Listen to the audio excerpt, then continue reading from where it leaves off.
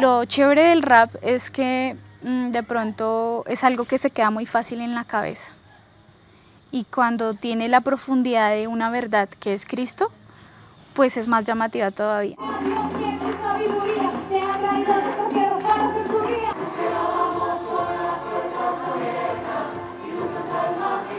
Es el hecho de, hacer lo que Él nos ha invitado, ¿no? Eh, de hacer lío, de ser comunidad, de llegar al pobre, al sencillo y pues qué mejor que a través de la música.